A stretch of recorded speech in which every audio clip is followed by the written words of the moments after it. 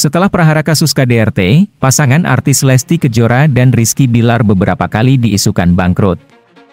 Namun, beberapa kali pula orang tua Baby Litter menjawabnya dengan bukti. Satu di antaranya, mimpi Lesti Kejora ingin mempunyai villa pribadi di Bali akhirnya tercapai setelah menikah dengan Rizky Bilar. Mengikuti jejak Raffi Ahmad dan Nagita Slavina, tahun ini pasangan viral ini juga membangun villa di Bali. Villa milik orang tua Muhammad Leslar Al-Fatih Bilar tersebut rencananya akan dibangun di atas tanah seluar 300 meter dan ditargetkan rampung dalam jangka waktu satu tahun. Pelantun lagu Kejora tersebut merasa bersyukur akhirnya punya villa sendiri. Pasutri ini memang sedang gencar-gencarnya melakukan pembuktian kepada publik jika rumah tangga mereka jadi jauh lebih baik setelah kasus KDRT kemarin. Ya, Bilar sempat melakukan KDRT kepada Lesti bahkan sampai dilaporkan ke kepolisian oleh Endang Mulyana, mertuanya.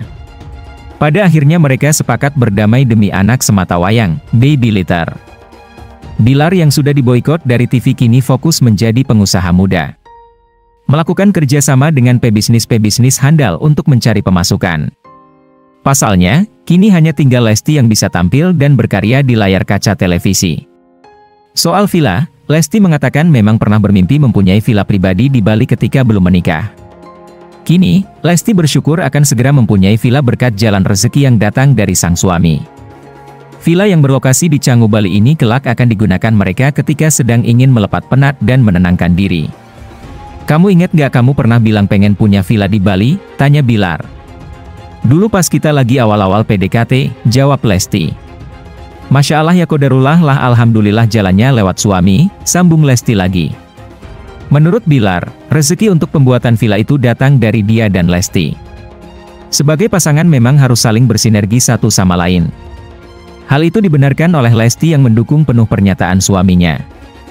Saling apa ya karena sebuah pernikahan itu ada sebuah rezeki kedua belah pihak dan anak, sambung Bilar.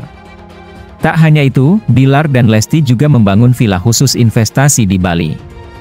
Bilar berharap investasinya di Bali bisa mendatangkan hal-hal baik untuk keluarganya.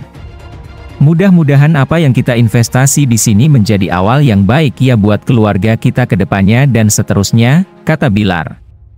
Tangyu papa gitu, ucap Lesti pada Baby Litter, sebelumnya, seperti yang diketahui setelah lama tidak terdengar kabarnya, belum lama ini Ibunda Bilar, Rosmala Dewi mendatangi rumah Lesti lagi.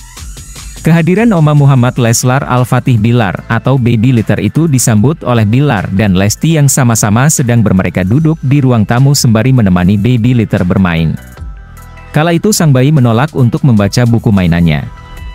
Justru ia lebih memilih untuk membuka parsel buah yang berada di atas meja.